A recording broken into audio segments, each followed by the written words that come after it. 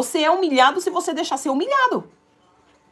E sempre que eu vejo tosadores reclamando da sua profissão, da nossa profissão, eu faço a seguinte pergunta para ele. Eu faço a seguinte pergunta para ele: O que que você está fazendo lá? O que que você está fazendo lá? Eu já cheguei em pet shops para dar treinamento, que de um lado o patrão falava num monte do tosador, do outro lado o tosador falava um monte do patrão, ali assim, falei: "O que que vocês estão fazendo aqui?"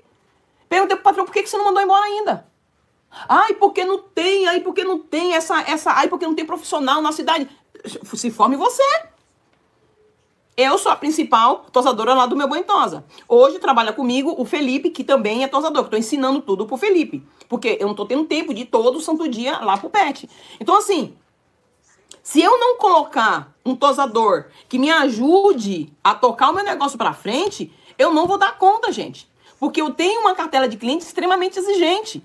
Clientes que não gostam de ponta, porque eles estão acostumados que a tosa da Lígia não deixa pontas. Clientes que estão acostumados que o Chanel da Lígia é perfeito. Clientes que estão acostumados que o, a cabecinha redondinha é perfeita. Então, assim, ó, há erros das duas partes. Há erro do tosador inconsequente e há erro do, do proprietário inconsequente também. Tá?